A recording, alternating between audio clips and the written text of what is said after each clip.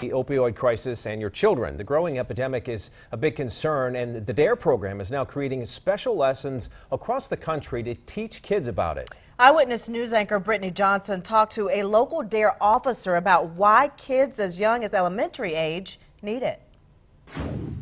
It's hard to think that kids this age that play with blocks and make crafts at school may also need to learn about the opioid crisis, but the DARE program says they do, and it's working to protect them.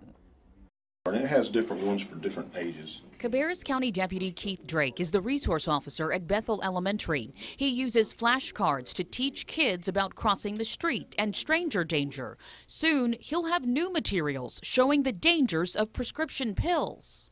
It is young, but unfortunately, in the world that we live in right now, with everything that's going on with the opioid crisis, these kids, they see it. That's why Dare America announced it's creating an opioid abuse curriculum for elementary, middle, and high school students. Dare posted this animated presentation with a quiz on its website, breaking down the drugs and how people become addicted.